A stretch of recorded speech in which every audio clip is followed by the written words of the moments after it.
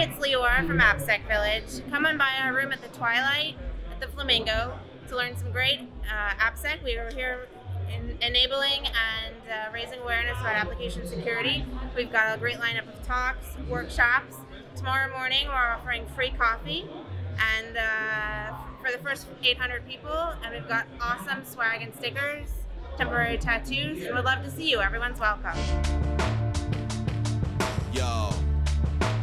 Shout out to my lock pickers, physical pin testers, all that. Check.